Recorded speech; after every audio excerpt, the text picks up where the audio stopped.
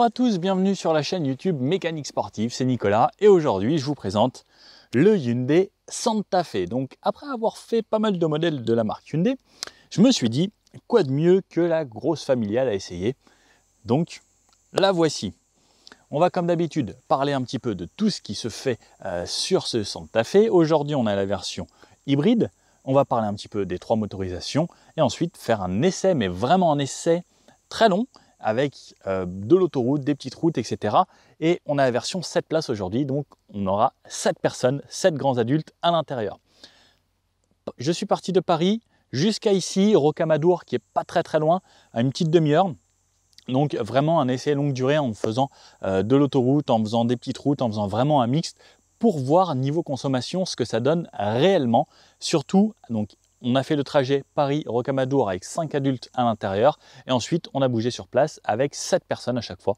Donc franchement le véhicule idéal hein, pour partir en vacances avec des copains. Mais on verra donc les aspects positifs et les points négatifs de cette voiture. Donc c'est parti, on commence avec l'extérieur. Bon, sur l'extérieur, le Santa Fe il laisse pas indifférent. Je ne sais pas si vous vous rappelez, il y a eu les tout premiers à l'époque, mais il y a déjà 15 ans au moins où c'était tout rond, on en voyait vraiment beaucoup. Il y a eu la version juste avant celui-ci. On n'en voyait euh, quasiment pas. J'avais l'impression vraiment que pour moi ça avait disparu. Et euh, ayant eu les chiffres Hyundai, il s'en est vraiment pas vendu beaucoup des anciens. Par contre, quand celui-ci est arrivé, grosse surprise, ils ont explosé les chiffres. Euh, je crois que 600 déjà depuis le début de l'année, ils en ont vendu. Ce qui est énorme hein, pour ce genre de véhicule. Et franchement, il a une sacrée gueule. Comme le Tucson. Le Tucson, c'est pareil, ça fait des ventes, mais Hyundai, ils étaient vraiment pas prêts à ça. Et là, c'est pareil, donc sur euh, ce nouveau Santa Fe, qui est vraiment bien sympa, qui a ce look, hein, euh, bah, laisse pas indifférent. Et enfin, ça, reste quand même un gros bébé. Hein. Regardez-moi à côté. Le véhicule est quand même assez imposant par rapport aux dimensions du véhicule. Donc, on est sur un véhicule qui fait 4,78 m de long, 1,90 m de large. Donc, c'est quand même bien large, hein, sans les rétros, 1m90. Et on est sur une hauteur de 1m71. Un beau bébé sur la route. Au niveau du poids euh, des Santa Fe, il y a plusieurs poids. On sera aux alentours de 1900 euh, kg à peu près pour celui-ci. Et on aura pour les versions hybrides rechargeables 200 kg de plus à peu près. Donc au niveau des versions, donc pour les motorisations, là-dessous, on aura moteurs. On aura soit un diesel qui sera en 2 litres 2 qui fera 202 chevaux avec une boîte DCT 8. Ensuite, on aura la version euh, ici qu'on a aujourd'hui avec un mode hybride, donc un moteur 1 litre 6 avec la compensation électrique qui peut passer des fois en mode électrique, mais pas vraiment tout le temps comme une vraie plug-in. Donc on en parle juste après du plug-in. Donc celui-ci fait 1 litre 6, 230 chevaux avec une boîte de vitesse automatique 6 rapports.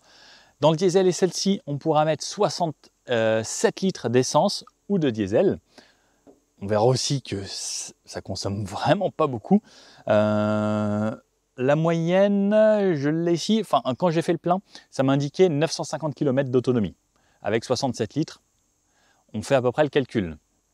Et il reste ensuite la version hybride rechargeable. Hybride rechargeable, ça a toujours des plus petits réservoirs, puisque à l'arrière, on y met des batteries, donc ça rétrécit un petit peu la taille. Dans le hybride rechargeable, on mettra 47 litres, donc 20 litres de moins. Par contre, on aura toujours le moteur 1 litre 6 avec le même moteur qu'il y a là, mais un moteur supplémentaire pour être en 4 roues motrices. Donc ça, c'est l'avantage du hybride rechargeable, c'est un plug-in, donc on peut recharger à la maison ou sur des bornes. Plus, c'est un 4 roues motrices, donc gros avantage là-dessus. Et ça fait 265 chevaux, donc encore plus que là. Donc on a soit 202 diesel, 230 là ou 265 en hybride rechargeable. Et hybride rechargeable, non, lui sera aussi avec la boîte de vitesse automatique 6 rapports. Alors le choix à faire entre diesel, hybride, hybride rechargeable. Alors le diesel, si vous êtes un gros rouleur, pourquoi pas? Euh, Ça a des bonnes consommations, mais pour moi, l'hybride simple, ça a aussi des super bonnes consommations. 900 euh, km avec un plein, ça reste quand même vraiment relativement cool. Et surtout, si vous faites plutôt de la ville, eh bien l'hybride sera plus tourné vers vous. Si vous faites vraiment que de l'autoroute, que des longs trajets, pourquoi pas le diesel? Mais sinon, pour moi, je me tournerais vraiment vers l'hybride. Si vous faites vraiment beaucoup, beaucoup de villes, hybride rechargeable. Hybride rechargeable, ça permet de pouvoir recharger à la maison. L'équivalent d'une recharge complète, ça se fait en 5-6 heures en moyenne à la maison et ça vous coûtera environ 2 euros pour faire environ entre 50 et 60 km selon les conditions. Ça devient assez intéressant et surtout, le fait d'être en full électrique, c'est le gros avantage de c'est calme, ça fait pas de bruit, ça démarre pas de moteur et ça pollue pas soi-disant. On peut commencer à parler euh, du tarif. Le Santa Fe commence donc sur les premières versions diesel à partir de 41 900 euros. Pour ce genre euh, de mastodonte, ça va, on est dans les prix. Le modèle qu'on présente aujourd'hui en finition exécutive, donc en hybride, celui-ci vaut 53 800 euros. Ensuite, il y a les plugins qui commencent, eux, à 53 900 euros et qui montent jusqu'à 59 000 euros, là pour le full option en exécutive en plugin hybride. Par rapport aux garanties, Hyundai, c'est toujours garantie 5 ans, kilométrage illimité, et les batteries qui se trouvent en dessous là-bas, pour celle-ci et pour l'hybride rechargeable, c'est garantie 8 ans, kilométrage illimité également. Alors, sur l'avant, ce Santa Fe, comme on le voit, c'est assez large, c'est bien posé sur la route. On a là le toit ouvrant et panoramique. Aujourd'hui, je vous montre ça à l'intérieur. Ensuite, ici, quand on redescend, on a les caméras pour la conduite de niveau d'eau, donc avec le maintien dans les lignes, le régulateur adaptatif et tout ça. Un grand pare-brise, on a une bonne vision. Le capot ici avec juste quelque chose de simple, c'est un peu creusé ici, donc des deux côtés, ça fait une forme de T. Et ce T, on le retrouve juste ici. Regardez, cette forme ici qu'on retrouve à cet endroit-là. Et on l'a de ce côté-là. Donc ce que j'aime bien, c'est ça a été dessiné, c'est en deux parties. Donc ici, et cette partie devient le clignotant lorsqu'on se met en clignotant. Donc on, reconnaît vraiment bien la signature lumineuse de Santa Fe à l'avant. On a ensuite du full LED, bien sûr, à l'avant. Donc c'est juste là, feu, feu de croisement et plein phare. Ensuite, on a une calandre effet miroir, donc c'est miroir un petit peu teinté foncé. Alors, c'est du plastique et ça donne vraiment cet air un petit peu bling bling, un petit peu, euh, on me remarque, tout comme ça ici. C'est un petit peu comme de l'alu poli. C'est pas vraiment effet miroir, mais on voit que c'est brillant. On le remarque ici qui fait vraiment tout le tour et là, avec le gros logo Hyundai, donc quand on la voit arriver, on se dit waouh, ok. Et moi, ça me fait penser aux voitures américaines, ce Santa Fe. Je sais pas vous, mais j'ai l'impression que c'est un petit peu un GMC ou une grosse Ford. Et j'ai l'impression qu'il été fait pour le marché américain. Mais moi, je trouve ça vraiment cool qu'il soit ici, parce que avoir ce genre de grosses bêtes, mais avec des moteurs hybrides où ça consomme quasiment rien, bah c'est le top. Donc ça c'est l'avant. Caméra ici, puisqu'on a les caméras également dans les rétros, ça je vous montrerai la petite astuce de Hyundai avec les caméras sur le tableau de bord dans les rétros quand on met les clignotants. Donc caméra 360, c'est vraiment pas mal. La lame, donc pareil, de cette façon, donc pas de plastique. On a une garde au sol d'un petit peu plus de 10 cm, donc on passe quasiment partout sans problème.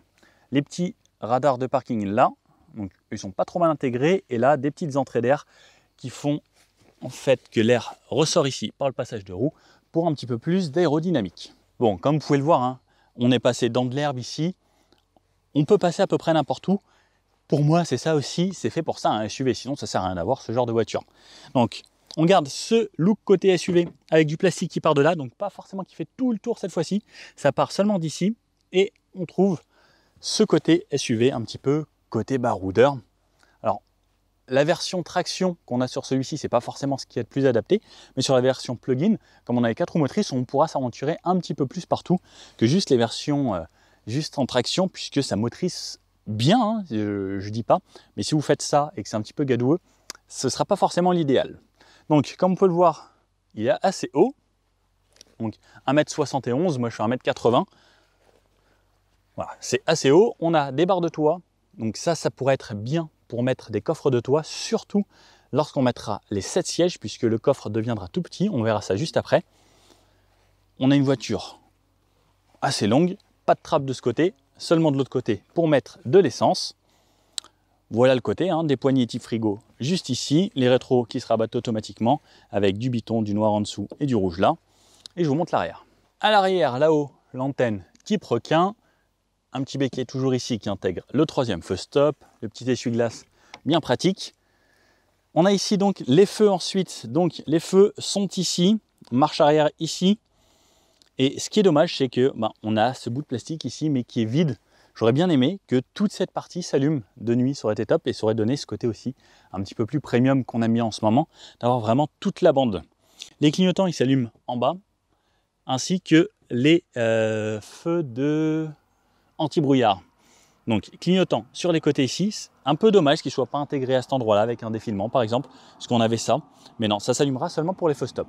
Ensuite, on redescend, on a le Hyundai Santa Fe hybride, puisque c'est marqué ce que vous avez comme véhicule.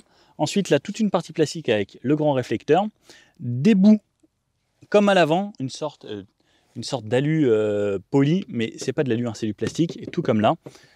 Et donc ce côté ici, pas d'échappement sur les hybrides et tout. C'est pas forcément ce qui est le plus à la mode hein, de mettre des gros échappements. C'est dommage parce que ça lui serait bien aller.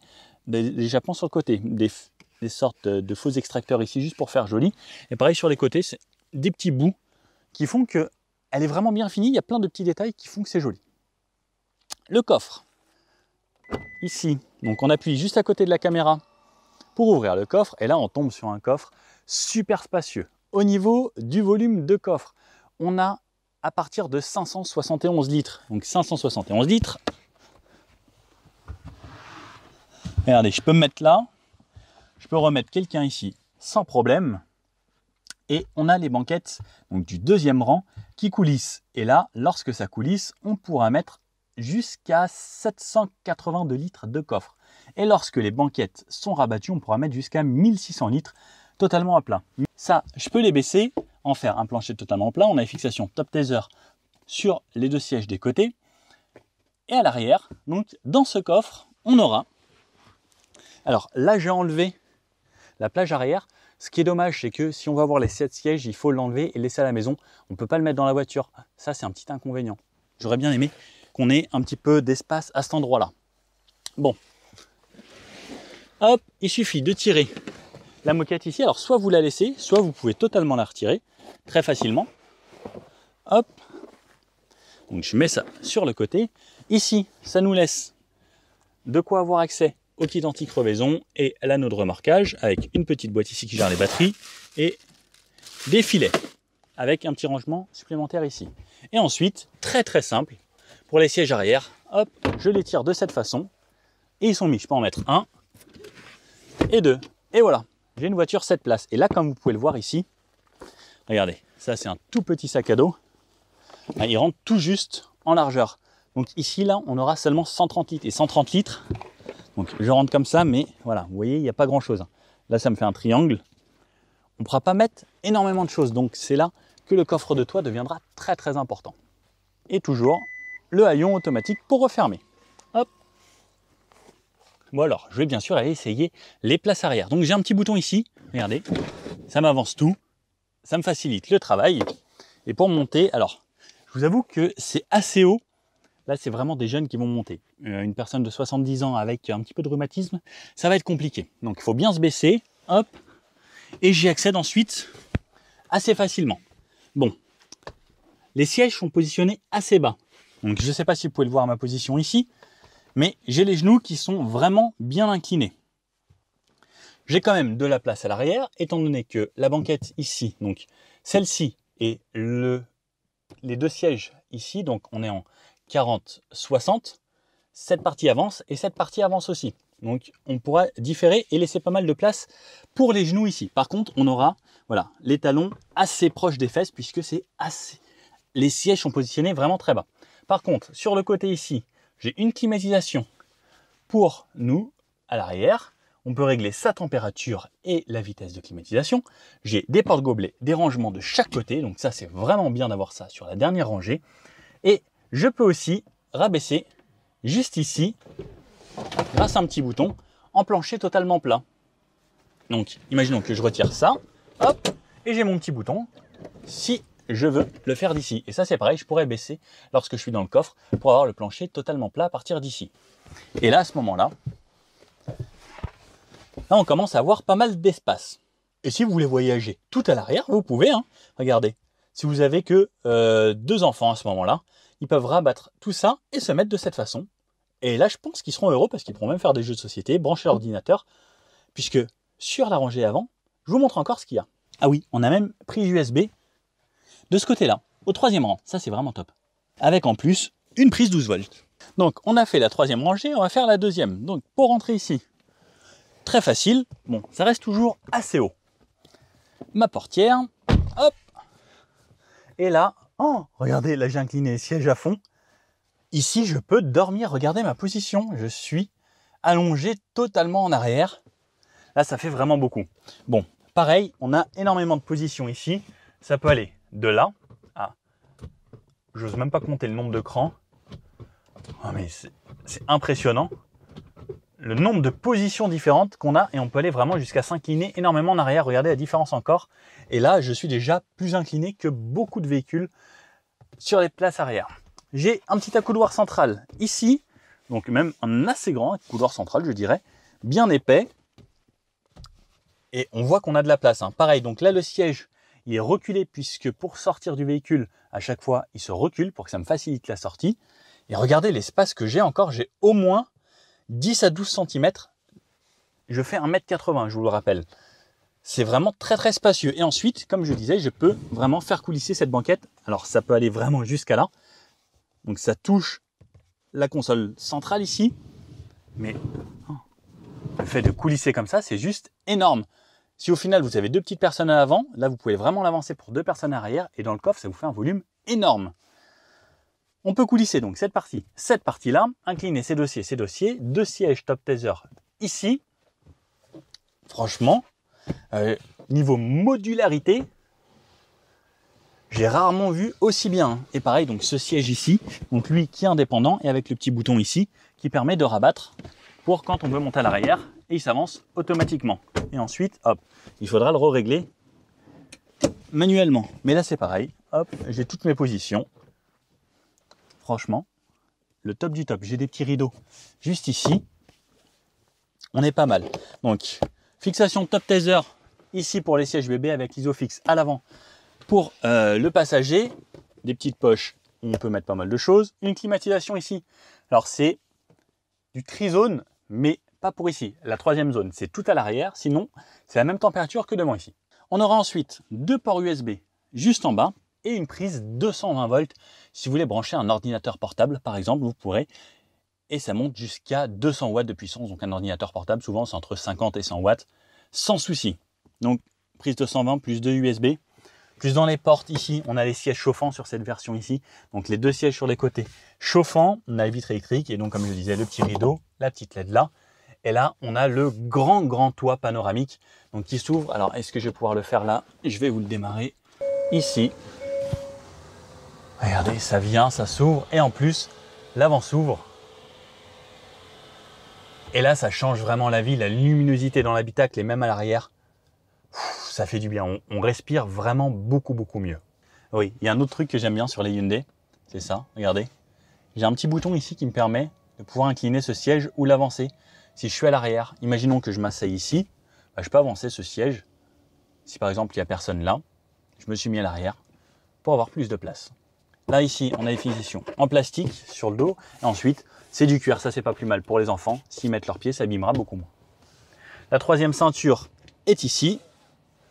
Alors, euh, la personne qui est venue avec moi, donc de Paris à ici, me disait que lorsqu'on est petite, c'était un petit peu gênant de la voir comme ça.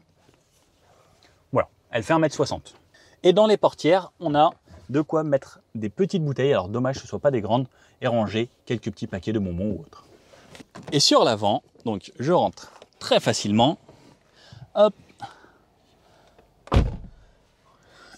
Et me voici à l'intérieur du Santa Fe. Donc c'est très spacieux.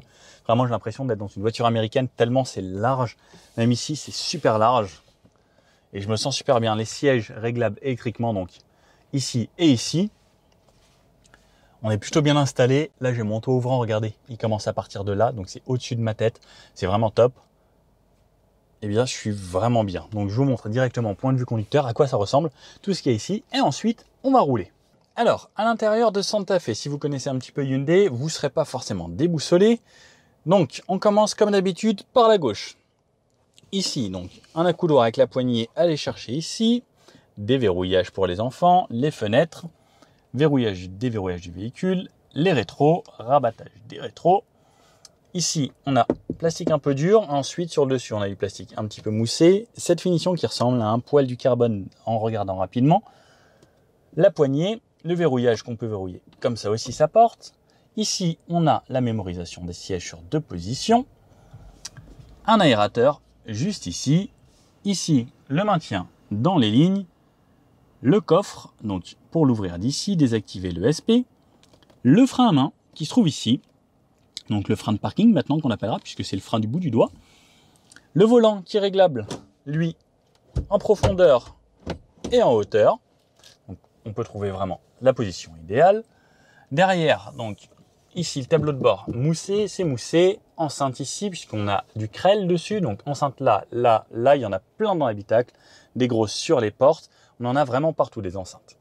Donc ensuite tableau de bord ici en cuir avec les belles surpiqûres ici, des aérateurs. Hop, donc double ici, un là-bas. Un petit vide-poche à cet endroit-là pour mettre ses téléphones ou autre. La boîte à gants. On pourra mettre une grande bouteille ici. La portière, donc je vous la montre, elle ressemble à ça en grand. Les sièges, donc on est sur la définition exécutive, donc le haut de gamme, donc avec du cuir partout, et avec les sièges perforés ici puisqu'ils sont ventilés, tout comme là on a des ventilateurs qui vous rafraîchissent ou chauffants. Le volant, le volant ressemble à ça, donc à gauche commande vocale, les modes pour la radio ou autre, ça c'est le volume et de musique, décrocher au téléphone. Le klaxon en plein milieu, ça c'est changer les infos qu'on a au bout là-bas, donc si on veut les directions, les infos par exemple, on peut avoir la pression des pneus, on a les aides à la conduite, et les infos, donc là, vous pouvez voir par exemple que sur les 584 derniers kilomètres, j'ai fait une moyenne de 6 litres 8, donc en partant de Paris. Et ensuite, on peut voir bah, les dernières infos, ce qui reste euh, comme batterie, la vitesse, on peut l'afficher comme ça, et depuis le dernier plein, 6 litres 4 sur les 110 derniers kilomètres. Comme vous pouvez voir, là, on a le plein, donc ça m'affichait 950, là, il me reste 845. On est pas mal. Les compteurs, donc on a plusieurs types de compteurs. On a celui-ci, on a le mode sport et le mode smart ici. Moi, je resterai en mode éco la plupart du temps pour faire des économies. Derrière le volant, on a des palettes puisqu'on peut gérer la boîte de vitesse en palette, mais on ne peut pas gérer la récupération d'énergie. Ça, c'est dommage. Les feux de ce côté-là, feu automatique bien sûr, et les clignotants. Et regardez les clignotants. Donc, lorsque j'active mon clignotant, j'ai ça qui s'affiche. Donc, c'est mon angle mort grâce à une caméra située dans le rétroviseur et j'ai ça des deux côtés. Ça, c'est vraiment un gros gros plus pour moi. C'est la seule marque que je connais qui fasse ça et c'est un vrai plus. Sinon, donc les compteurs de vitesse et ici pas de contour. Les contours, c'est fini maintenant. Même en mode sport, il me semble que sur celle-ci, on a non, même plus de contour. Ensuite, les informations hein, qu'on a autour. Donc ensuite, on a les modes ici pour le régulateur, régulateur adaptatif, régulateur simple, limiteur. Ici, on choisit qu'on fait défiler là-bas. Donc hop, juste de cette façon. Ça, c'est pour régler la vitesse du régulateur ou limiteur. Ça, c'est la distance avec le véhicule qui vous précède. Et ça, c'est pour la conduite de niveau 2, donc le centrage de voie. La voiture conduit toute seule. Il faut bien sûr laisser les mains sur le volant, c'est obligatoire en France. À gauche, le petit bouton pour démarrer juste ici. Ici, un deuxième écran, donc chez Hyundai, ils font très simple entre celui-ci et celui-ci. C'est exactement la même taille, pour moi c'est les mêmes, sauf que celui-ci est tactile. Donc toujours la même interface qu'on peut avoir de la i20 au Santa Fe. C'est toujours les mêmes menus chez Hyundai, on s'y perdra pas. Et on a donc par exemple le mode hybride ici, qui nous donne les consommations, si ça recharge, les flux d'énergie, etc. On a ensuite tous les modes navigation, carte, projection de téléphone, on a l'Android Auto, l'Apple CarPlay, le BlueLink qui est euh, le système de connexion avec votre voiture pour savoir où elle en est, euh, niveau batterie, niveau plein d'essence, etc. Un mode voiturier, et réglage de la radio, etc. Et toujours le bruit de la nature pour avoir par exemple le bruit des gouttes d'eau ou de la forêt ici. On a une touche Home ici qui nous ramène à chaque fois à cet endroit-là. Ensuite, les warnings juste ici. Et en dessous, donc là, on a la tour de contrôle. J'appellerais ça comme ça. Le volume du son. Ici, raccourci, map, navigation, touche favori. Moi, par exemple, celle-ci, je l'ai enregistrée pour l'Android Auto. Donc quand je vais autre part, je reviens là et c'est Android Auto. Euh, changer de musique, gauche, droite, plus, moins, radio, média, setup. Ensuite, ça c'est tout le bloc clim. Donc comme vous pouvez le voir ici, clim bizone, on règle chacun sa température grâce à des touches physiques, ça c'est bien. Je peux avoir le driver only, ça c'est pour consommer moins d'énergie et pas gâcher. Si je suis tout seul en voiture, je mets driver only et il n'y a que moi qui refroidit. Les clim climate, euh, régénération, etc. synchronisés à cet endroit-là. Ensuite, la partie boîte de vitesse ici ou sélecteur de rapport parking, reculé, neutre, drive. Donc lorsque je passe en reculé, regardez, reculé. Alors j'ai mon rétro là-bas qui se baisse et j'ai les caméras de cette façon avec la caméra 360 ici et de cette façon. Et ensuite, je peux sélectionner à l'arrière, devant, de cette façon. Et si je passe en drive, je passe sur la caméra avant, juste ici, plus toujours le 360. Et là, je peux régler avant arrière. On a des caméras de plutôt bonne qualité. Donc, bonne chose de la part de Hyundai. Hop, et je me remets en mode parking. Ici, le auto hold pour ne pas avoir à freiner. Le volant chauffant, ça c'est top. L'hiver, idéal. LED à la descente en côte. Les bip bip de parking et les caméras, je peux les activer juste ici si je veux. Donc sans avoir engagé la marche arrière. Siège ventilé, trois positions. Siège chauffant, trois positions pour vous votre copain sur le côté.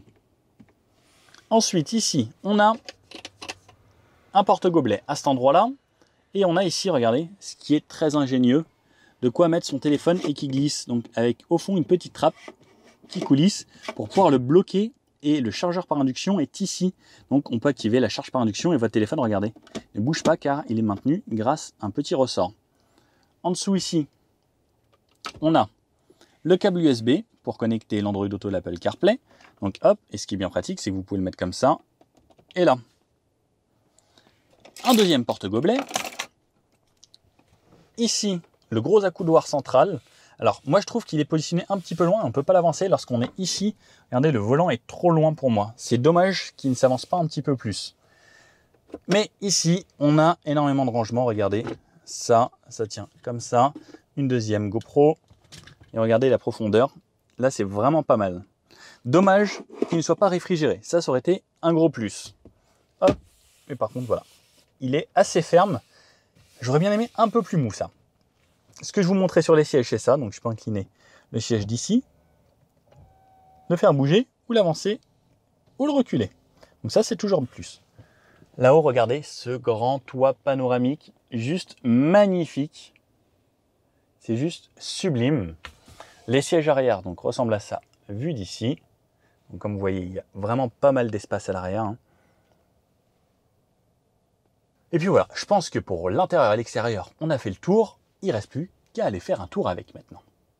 Bon alors, on va commencer avec ce Santa Fe juste ici. Donc, on a une voiture 7 places, comme je disais tout à l'heure. Donc, on va essayer de faire monter 7 personnes et 7 adultes. Vous êtes prêts? Donc, 1. On en a une deuxième qui va monter. Alors, elle appuie sur un petit bouton. Hop. Salut toi. Salut. Elle va se mettre au fond un deuxième qui va monter. Bonjour. Donc on a deux adultes à l'arrière. Donc on a des sièges qui se rabattent un petit peu. Ah, bonjour vous. Salut. On vous connaît vous Oui. Et il en manque deux Oui. Bonjour vous. Bonjour. Bonjour. Donc on en est à 5. Euh, bonjour 6. Donc, bon, on, a déjà fait rentrer 6 adultes.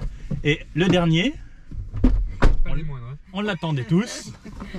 Le meilleur pour la fin. Et le dernier. Et voilà, donc on arrive à faire rentrer 5 adultes ici. De bonne consistance. c'est pas, pas, moi qui le dis, c'est lui. Hein.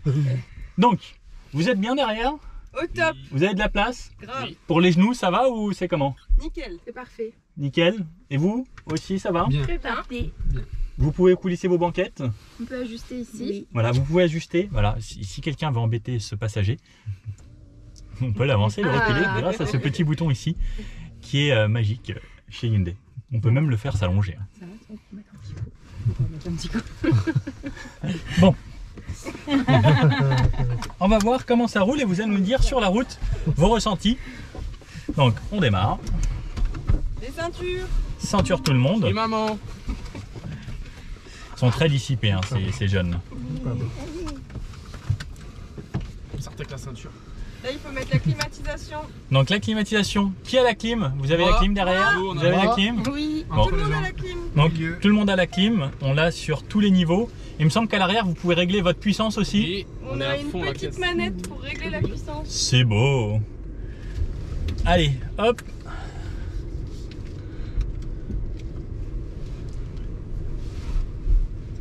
Bien sûr, on a toutes les caméras de recul, caméra 360, on est sur une version assez haut de gamme. Donc, on évite d'écraser les gens, on a une direction plutôt facile. Il n'y a pas le petit truc. Alors, bon, on fait un test de maniabilité en même temps. Entre les armes. On a un rayon de braquage qui est pas trop mal. Hop. Et on va aller par là.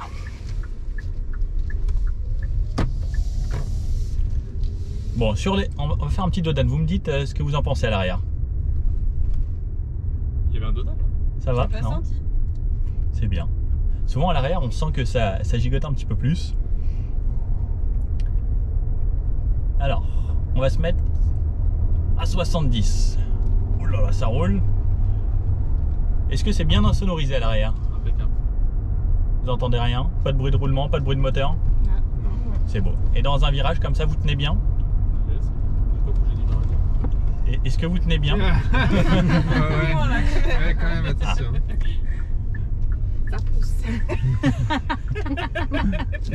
Étienne, tu t'es calme. Donc là, on a 7 personnes dans le véhicule et on va voir si ça accélère un petit peu. Bon, c'est pas mal.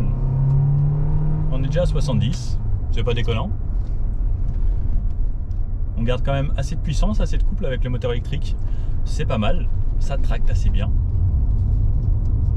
Et sur les petites routes comme ça, à 70, ça va derrière Super. On est au top. Bon, on va pas tous les emmener partout parce que bon, ils mangent beaucoup les jeunes. Mais on va faire comme d'habitude un petit tour sur tout type de route, des petites routes simples et jusqu'à l'autoroute en passant par la ville. On va voir dans un rond-point, tiens. Ça c'est mon stage favori pour savoir si ça tient bien. Oh là là, mais les gens font n'importe quoi. Alors, là ça va aussi, vous tenez bien, vous êtes bien maintenu? Ce monsieur ne voulait pas passer. Nous continuons. Ouais, ça va, on a une bonne tenue de route. À l'arrière, ça va Vous aviez l'air de pas trop mal bouger Il en fait. Au premier vomi, c'est que ça ira plus. Bien. Ma couleur, c'est juste. euh, pas naturel. Le pétillant de raisin et maintenant ça remonte. Bon bah merci euh, pour, euh, pour ces commentaires. Quel- Quelque chose de particulier à dire sur l'arrière, sur l'avant, sur euh, double, la deuxième rangée ou troisième rangée? Avec la voiture. Expérience optimale. euh, Optimal. On est bien. C'est confortable. Voilà. Et, et qu'est-ce que vous en pensez de ça à l'arrière après? Ah, waouh. Ça, c'est très agréable. hein. Ça, c'est ce qu'on aime. Le ciel bleu, le courant vert. Ouais, bon bah parfait. Je crois qu'ils aiment bien. Le bruit des criquets. Le papillon. Et pour, pour, pour ceux qui ont fait beaucoup de routes avec nous, enfin avec moi, qu'est-ce que vous en avez pensé sur autoroute? C'était bien aussi Vous aviez de la place, les trois personnes à l'arrière? Ouais, c'était Ouais. On était à l'aise. Bah au top. Comme quoi on peut partir même avec 5 adultes. Par contre, euh, enfin 7 adultes. Par contre dans le coffre, vous aurez juste de quoi mettre 7 sacs à dos. Ce sera un petit peu plus compliqué après. Et encore. Bon alors, sinon, on va reprendre donc en étant tout seul. Alors, dans cette voiture, comme je disais, hein, on est vraiment très très bien installé. On a de la place, regardez, alors je vous montre même un peu plus bas, si j'y arrive, pour les coudes. C'est vraiment spacieux, regardez cette luminosité là, je suis dans la forêt. C'est juste sublime. Moi, quand il y a des toits panoramiques, c'est top. Et si vous me connaissez, comme dans le Tucson avec l'intérieur blanc, rouge, intérieur blanc, je retrouvais ça magnifique. Alors, je, je suis même pas sûr que ça se fasse. Mais en tout cas, on est vraiment bien dans ce Santa Fe. Donc là, par exemple, on est un petit peu en descente. C'est une voiture hybride. Je suis en mode électrique. Donc quand je freine, ça régénère de l'énergie grâce au moteur électrique. Donc on est une voiture assez grosse sur les petites routes. On fait attention, mais ça passe. Donc là, par exemple, je suis en mode électrique. Ce qui permet vraiment hein, de faire des super économies euh, de carburant, puisque, euh, comme je le disais, on arrive à tomber sur la grosse moyenne, là, hein, sur 600 km, 6 litres 8 de moyenne, ce qui est vraiment top. Alors surtout qu'en plus, là, sur les derniers kilomètres, les derniers 200 km, c'était beaucoup de montées et descentes, surtout qu'on s'est baladé à 7 dans la voiture. C'est vraiment pas mal. hein. La voiture se débrouille très très bien. Et on a réussi, même en étant à 7, à faire un moment une conso à 5 litres 2 sur 30 km. Donc en y allant tranquillement, on peut vraiment rouler cool et faire très très peu de consommation d'énergie. hein. Là par exemple, je suis toujours en électrique, j'ai pas touché à la pédale. Ça se met un petit peu en roue libre, ça recharge toujours un petit poil. Alors il n'y a pas vraiment de roue libre roue libre, Euh, j'ai pas trouvé le mode en tout cas. Euh, mais voilà, par exemple là ça roule tout seul. Et je consomme 0 litre 100, c'est en élec. Et si je réaccélère gentiment, ça va rester en électrique jusqu'à souvent la moitié de la batterie. Ça va rarement descendre en dessous de la moitié de la batterie, sauf si vous accélérez vraiment à fond. Et là, la voiture se dit, ok, il a besoin 100% de la puissance, il va vous donner 100%. Mais là, par exemple, on est sur des petites routes vraiment dégradées, la suspension est top de chez top. Même tout à l'heure, quand on était plusieurs dans la voiture, eh bien, ça reste ultra confortable, hein, même pour les passagers arrière. Même sur les Dodan, comme on a pu le voir avec eux, hein, ils disaient qu'ils sentaient quasiment rien. Et pourtant, sur une troisième rangée, ne rien sentir sur un Dodan, il faut vraiment le faire. On a la correction d'assiette aussi sur les arrière. Ça, c'est un gros plus.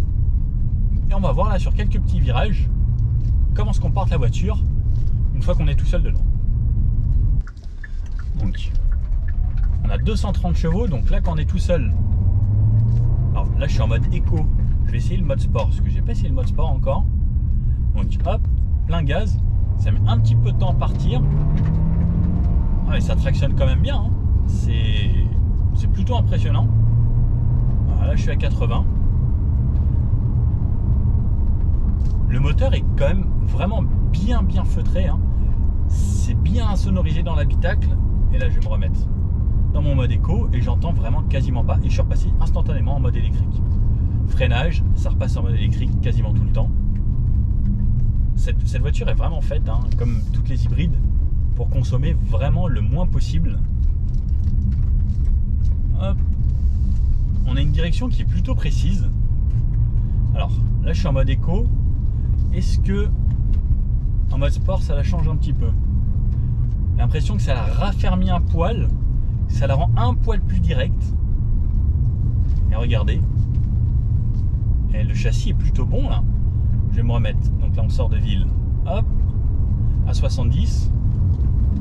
Alors la voiture prend un petit peu de roulis, mais c'est pas pour la taille de la voiture et le poids de la voiture. Et ben, je trouve ça vraiment intéressant puisque elle se comporte vraiment bien. Même sur le changement, là, je suis en mode sport. Hop. Et même si je repasse en mode éco, alors la direction change un poil, mais la voiture, elle fait pas n'importe quoi, elle gigote pas dans tous les sens. Et sur un gros freinage, alors par exemple, hop, et ben pareil, elle s'affaisse pas énormément. Ça, c'est une bonne chose, parce que ça veut dire que normalement, elle devrait avoir un comportement dynamique plutôt sain. Là, par exemple, dans le virage, c'est un peu serré. C'est même très serré. Regardez, hop, allez, un gros virage très serré ici. Hop, ben, ça tient bien la route. C'est impressionnant, je m'attendais pas à ça. Là, on va rouler tranquillement. Et là, on ressort de la ville. On peut réaccélérer. C'est suffisant. Et comme je dis, même quand le moteur monte assez haut, pour le petit 1,6 litre, souvent ça fait du bruit ces petits moteurs. Et ben c'est bien bien insonorisé dans, insonorisé dans l'habitacle. Et pareil, là on est sur une route dégradée où il y a plein de petits gravillons. Là, franchement, j'entends quasiment rien. Et sur autoroute, pareil, pour revenir jusqu'à là, c'était vraiment le top. C'était hyper silencieux. Alors en plus de mon affichage ici, j'ai l'affichage tête haute. Si je mets euh, la carte ou euh, la navigation grâce à cet écran ici, donc au système, j'ai la navigation qui s'affiche aussi dans l'affichage tête haute. L'affichage tête haute est de bonne qualité. Il est petit, mais de bonne qualité. Et je suis plutôt bien. Alors, petit reproche, comme je disais euh, dans la présentation, ça qui est un petit peu loin. Si je veux avoir ma main, donc je l'aurai ici, c'est un peu dommage. Donc c'est vraiment fait pour avoir une main comme ça. Et de ce côté-là, comme il y a une poignée à cet endroit-là au niveau du coude, bah, c'est un petit peu dommage aussi. C'est les deux petites choses que je pourrais euh, dire, c'est un peu dommage. Mais Une fois qu'on est sur autoroute, long trajet, la voiture conduit toute seule puisqu'on a la conduite de niveau 2. Donc j'ai juste à poser ma main comme ça. Et là au final, c'est vrai que c'est pas gênant sur les longs trajets puisque la voiture conduit toute seule. Je suis encore en mode électrique. La voiture, franchement, elle se débrouille super bien. Elle est vraiment faite pour faire des économies. hein. Et pour doubler, ah oui, pour doubler les clignotants, regardez là, j'ai ça. Alors je sais pas si vous le voyez. Dans mon angle mort, j'ai ici des rétros avec des caméras et ça m'affiche donc la petite bulle comme je vous disais tout à l'heure pendant la présentation. Ça c'est un gros plus. On se dit c'est gadget, mais en vrai, eh ben niveau sécurité c'est un gros gros plus pour des gens qui sont pas forcément tout le temps attentifs comme moi. Ben, juste le fait de le mettre et de voir ce qui se passe, plus vous avez un avertissement sonore s'il y a quelqu'un dans l'angle mort, plus dans les rétros, plus dans l'affichage tête haute. Là si vous tapez quelqu'un dans l'angle mort, c'est vraiment vous l'avez voulu. Bon, et puis la petite démo sur un chemin de terre. Donc déjà on a un rayon de braquage qui est franchement pas mal. hein. La voiture tourne assez bien. Et ça reste toujours aussi confortable. Hop.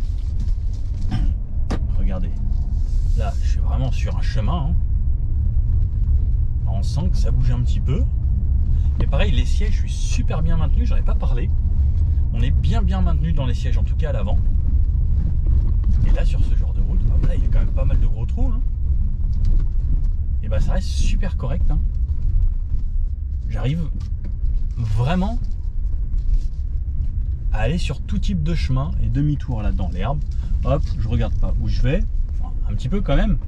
Avec 17 cm de garde au sol. Je peux y aller vraiment tranquille et sans souci. Et pareil, le retour, même en mettant un petit peu plus de rythme. Allez, là je vais me mettre à 50. Bah, franchement, pas grand chose à dire. Alors ça vaut pas une super suspension pneumatique, mais vraiment, elle se débrouille super bien.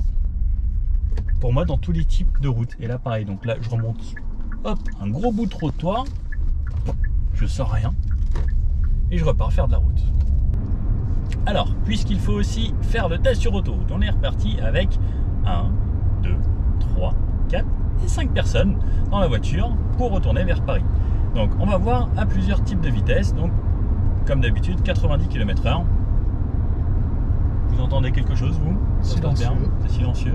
Là, on est un petit peu en descente, on est en électrique, donc toujours le mode hybride qui reprend un petit peu euh, la main. Dès que c'est un petit peu en descente, même sur autoroute, ça va repasser en mode électrique, que ce soit même à 110 ou à 130. Donc, hop, là je remonte un petit peu la vitesse. Même lorsque ça accélère, alors si on fait vraiment, on prête vraiment attention, on entend le moteur qui monte un petit peu dans les tours, mais ça reste franchement raisonnable. Et là à 90, bah, j'ai toutes mes aides à la conduite, bien sûr je ne conduis pas. Tous mes passagers ont vraiment confiance en cette voiture, n'est-ce pas? Et je peux m'enfermer les yeux. Ils ont pas peur. Non. Donc, regardez, c'est vraiment, ça fonctionne bien, ça prend les virages. Tant qu'on est sur autoroute, maintenant vous n'avez aucun souci à vous faire. D'ailleurs, on peut tester euh, le fait de si je ne fais rien. Ça me dit de garder les mains sur le volant. Je n'ai pas envie, je me suis évanoui là. Donc ça bip. Ça bip beaucoup. Et c'est tout. Donc en gros ça c'est censé me réveiller. Vous avez confiance? Bon. Et en gros, ça me dit toujours reprenez le volant, gardez les mains sur le volant. Mais au bout d'un moment, ça va désactiver la, conduite de niveau 2. Donc là, hop, système HDA désactivé. Donc conduite sur autoroute désactivée. Donc ça sonne fort. Et ça c'est là, voilà, c'est désactivé. Par contre, maintenant, il me reste le maintien dans les lignes. Donc tant que vous êtes sur autoroute, vous pouvez, vous, vous pouvez mourir, vous endormir. Et au péage, peut-être, ah non, vous allez peut-être rentrer en collision avec quelqu'un. Mais voilà, sinon, tant que vous êtes sur autoroute, ça se passe bien. Je reprends les mains, on arrête de sonner, on réactive tout ça, et on va aller se mettre à 110. Hop, comme on est sur autoroute et que je mets la vitesse préconisée, donc quand c'est 110, ça va se mettre automatiquement à 110. Si je mets 130, ça va se mettre automatiquement à 130. Et les panneaux, quand ils vont changer, la voiture va détecter automatiquement sur autoroute. Alors Hyundai, c'est vraiment dommage vous sachiez faire ça, la lecture des panneaux reconnaissant sur autoroute, mais que vous le fassiez pas sur tout type de route. Par exemple, quand on est sur petite départementale, ce serait top de pouvoir la lecture automatique également. Donc là, j'ai toujours, j'ai une voiture, vous entendez, je la vois dans mon angle mort, ça me dit hop, pas doublé, ça m'affiche dans la caméra. Et là, je peux doubler. Donc ça, il va tranquillement pour retourner jusqu'à 110. J'ai mon affichage tête haute, j'ai tout. Et à 110, est-ce que vous voyez une différence par rapport à 90 ou dans l'habitacle, l'insonorisation Pas du tout. Je pense que ça reste toujours confortable. C'est une bonne voiture pour faire de l'autoroute. À 110, là, pareil, on entend un petit peu légèrement des bruits de roulement. Moi, je les entends surtout venir de l'arrière. À l'avant, c'est bien, bien feutré. Le moteur, je l'entends quasiment pas. On n'a aucune idée de à combien de tours minute on a, puisqu'on n'a plus de compteur en tours minute. Mais à 110 km/h, moi, je trouve aucun souci. On n'a pas de bruit de vent autour euh, de l'habitacle. Légèrement, qui vient euh, du toit ouvrant. Donc, ce qui est normal parce que c'est une vitre. Et là, c'est pas vraiment. euh, donc, avec la garniture tout autour. Mais c'est très très léger. Et pour un grand toit panoramique comme ça, je trouve que c'est plutôt discret, justement, le vent. Et on va voir juste après à 130 km/h. Bon, on va voir pour accélérer. Là, je vais jusqu'au kickdown. J'appuie à fond et j'arrive à 130 km/h. Donc pareil toujours, hein, ça reste plutôt calme et... Non, ça roule. Et ça roupille. Mais ça rigole. ça roupille pas vraiment, ça va. Bon. 130 km/h. Donc là on est en montée, donc le moteur est en charge. Légèrement. Pareil, pas de vibration dans l'habitacle, on est toujours bien, les sièges sont top. Qu'est-ce que vous pensez des sièges à l'arrière On est bien. Ouais, bien. Ça, ça rebondit bien, celui-ci. Et, mais, mais appuie-toi le dos comme ça là. Et l'inclinaison, vous trouvez, vous trouvez ça comment On, on trouve que. Vas-y, reviens, reviens, reviens. Viens. On est bien. C'est vrai, et ça bascule quand même beaucoup. Hein. Ouais. Et ça avance. Et ça avance, et ça avance et ça recule. Oui. Bon, à 130, là on est quand même vraiment pas mal. Euh, au niveau des consommations, parce que là je peux pas vous le dire, on est en montée, mais la moyenne sur les euh, 821 derniers kilomètres, on est sur une moyenne à 6 litres 7, en ayant fait pas mal de routes euh, où ça montait et ça descendait pas mal, Chargé. chargé à 7 personnes sur tout- toutes les routes, euh, les dernières routes, là, les 250 derniers kilomètres. Donc ça me paraît vraiment pas mal, et surtout sur la descente, donc 5 adultes avec le coffre rempli. Bon, à 130 sinon, pareil, hein, toujours pas de bruit du vent autour de l'habitacle. Euh, L'aéros, franchement, c'est bien fait. Après, on n'est pas une journée où il y a du vent excessivement aujourd'hui. Mais c'est vraiment bien insonorisé. On est pas mal aussi. hein. Et si vous avez quelqu'un comme ça qui dort, qui roupille, mais qui dérange derrière, là, on a un petit bouton juste là, là. Parce que on peut le relever. Et regardez, moi je fais rien, je me laisse toujours conduire. Euh, Encore, encore, encore, encore, encore. Et voilà, il- là il est bien droit là. Ça, le kéké est un homme droit. Donc voilà, sur autoroute, vous pouvez vous amuser avec le passager ici. Par contre, ce serait peut-être bien, si c'est papa et maman qui est à côté, ou maman et papa, je pense que ce bouton, ce serait peut-être bien de pouvoir désactiver, mais je n'ai pas trouvé la désactivation de ce bouton. Parce que si vous avez des enfants Un peu joueur. un petit peu joueurs, hein, juste euh, Un peu taquin. un petit peu taquin, alors ça va être rigolo une fois, deux fois. Par contre, euh, bon, il y en a peut-être qui seront punis le soir. Et puis dans les bouchons de la région parisienne, on a quand même hein, le pilote assist qui nous aide à conduire tout seul. Donc ça c'est un gros plus, ça maintient dans les voies, ça accélère et ralentit euh, avec en gros un régulateur adaptatif. Et donc là par exemple ça alterne entre le mode électrique et le mode thermique. Donc comme c'est une hybride, elle fait le job toute seule. Là vraiment vous avez quasiment rien à faire. Donc dès qu'elle a besoin de solliciter le moteur euh, thermique, eh bien elle roule en thermique. Et dès qu'elle va ralentir, là par exemple, hop, elle repasse en mode électrique. Donc elle a rechargé un petit poil. Et pour relancer un petit peu, hop, elle redonne l'énergie qu'elle vient de récupérer pour relancer en électrique et ensuite elle repasse en thermique. Mais vraiment, entre les deux, on sent pas du tout la différence si on n'y fait pas attention. Je pense que c'est quasiment imperceptible. Là, ça vient de repasser en électrique. Par contre, lorsqu'on a basse vitesse, l'électrique, eh bien là, on sait qu'il n'y a pas du tout de moteur thermique qui tourne. Par contre, quand le moteur à vraiment très basse vitesse tourne, on le sent un petit peu parce que c'est normal, ça fait un petit peu de vibration. Mais là, il vient de redémarrer. Et ben, je ne l'ai pas du tout senti. Il n'y a pas dà il n'y a rien. Mais c'est franchement très très bon. hein. Moi j'a- j'adore l'hybride. Alors elle existe aussi en version hybride rechargeable, ce qui permet de faire entre 50 60 km en mode full électrique. Ça c'est encore mieux si vous avez de quoi la recharger à la maison tout le temps. Et déjà l'hybride, c'est déjà un bon pas euh, dans l'électrification. Et là, depuis tout à l'heure, je suis dans les bouchons. Alors pour un gros bébé comme ça, j'ai une moyenne de 5 litres 3. Et j'ai pas du tout cherché à faire des économies ou quoi.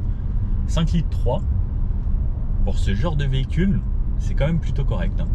Bon alors, ce Santa Fe, qu'est-ce qu'on peut en penser? Comme Hyundai sait le faire là depuis, euh, on va dire, deux ans surtout, hein, ils ont bien renouvelé leur modèle et ils ont encore fait quelque chose de bien sympa. C'est confortable, c'est agréable, esthétiquement, moi je trouve ça joli. Le rouge lui va très très bien. Cette place, c'est top, parce que là on peut vraiment mettre la famille. Par contre, effectivement, lorsqu'on a cette place, le coffre 130 litres, c'est vraiment rikiki. Mais des hybrides 7 places, il y en a combien? Il n'y en a pas encore énormément sur le marché. hein. Donc le fait de pouvoir avoir une hybride 7 places, c'est top. Pour le quotidien, au final, c'est parfait. Mais vous rajoutez un petit coffre de toit ou un gros coffre de toit, parce que si vous partez à 7, c'est sûrement qu'il va y avoir pas mal de bagages. Tenue de route, c'est plutôt confortable, c'est plutôt bien. Alors ça reste un gros bébé, c'est pas une voiture sportive, mais ça se comporte bien. Niveau confort, j'ai trouvé ça très bien. Mais je dirais pas excellent parce qu'il y a forcément mieux, mais j'ai trouvé ça très bien. Au niveau du look, j'aime bien, ça passe à peu près partout. Ce que j'aurais bien aimé, peut-être une version 4 roues motrices. Ça aurait pu être top pour faire un petit peu d'off-road ou autre. Les 7 places, donc les deux places à l'arrière, c'est plus des places de dépannage ou vraiment pour des enfants. Les trois places à l'arrière sur la deuxième rangée, on peut vraiment mettre trois grands adultes sans souci et faire beaucoup de route. Ce que tout le monde m'a dit, c'est ta voiture, elle donne envie de dormir donc sur le trajet. C'était tellement confortable, souple, que ça donnait envie de dormir. Donc ça, c'est une bonne chose si les gens veulent dormir dans votre voiture. Et mis à part ça, niveau consommation, donc comme je disais, sur ce test, on était aux alentours de 6 litres 8 sur tout le trajet en Paris, Rocamadour et retour. C'est quand même vraiment assez exceptionnel avec 5 personnes plus bien chargées pour descendre, plus 7 personnes sur les petites routes de campagne avec des zigzags, des relances, etc. Je trouve qu'elle se comporte vraiment très bien et on peut descendre bien plus bas. Si vous êtes moins chargé, vous êtes tout seul à l'utiliser. Je pense qu'on peut facilement tomber à une moyenne de 5 litres au 100, à mon avis, sans souci, en y allant en mode éco et en ayant une conduite coulée. Donc ça, c'est top d'avoir des si petites consommations sur des gros véhicules comme ça. Alors, ce Santa Fe, pour qui il est fait? Ben, Il est fait pour les familles. hein. Vous êtes famille nombreuse, 5 enfants. C'est pour vous. Vous voulez partir en vacances entre adultes, 5 grands adultes. Là, vous pouvez y aller sans souci. Et les- deux dernières places, ça peut dépanner. Vous, vous sortez un soir, il faut ramener euh, deux, deux nouveaux amis ou amis. Voilà, vous avez un petit peu de place supplémentaire. Le coffre, lorsqu'on n'a pas les deux places à l'arrière, est juste gigantesque. On peut faire coulisser la banquette. Niveau modularité, c'est vraiment bien. Après, ça aurait pu avoir voilà, quelques petits rangements supplémentaires à l'intérieur pour une grande voiture. Comme ça, dans les portes, j'aurais bien aimé qu'on puisse mettre des grandes bouteilles par exemple. Mais par contre, ce qui est bien, c'est que tout le monde a un porte-gobelet dans la voiture. Soit les deux devant, ceux derrière ou euh, tout au fond. Dans les rangements, la clim au troisième rang, ça c'est bien aussi. Voilà, pour moi, quand même vraiment pas mal d'avantages dans cette finition exécutive en tout cas. Voilà, j'espère que cette vidéo vous a plu. N'hésitez pas à mettre un petit pouce bleu comme ça si vous avez aimé, à mettre des questions en commentaire ou à mettre euh, ce que vous avez pensé de cette vidéo. Et je vous dis à bientôt pour un prochain modèle. Ciao